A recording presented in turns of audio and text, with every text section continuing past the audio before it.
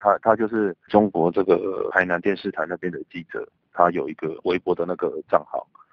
那在那个微博的账号先开始发这个假新闻，他发了以后，后来有很多的微博账号跟进，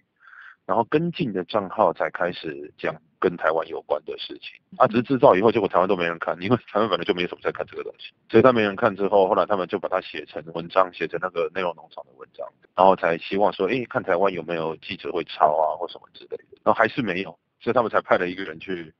那个 PTT 上面 PO，然后九月六号以后，就因为有学生看到了，然后在那边加油添醋，然后再来就是政治名嘴也开始讲嘛，然后再来就是现在检察官在调查了嘛。我觉得灾难的发生真的确实有台湾人在那边，那大家要急，啊，大家在挤跟紧张的时候哦，有这种假新闻出现很容易相信，啊，再加上国那时候国内大家互相吵架就已经吵得很严重了嘛，所以你只要制造这一点点推力，整个就吵起来了。当时有另外一个说法。是说啊，这本来就是中国典型的，海外有灾难，他们就会说哦，我们中国都会去接人哦，很棒哦，什么之类的，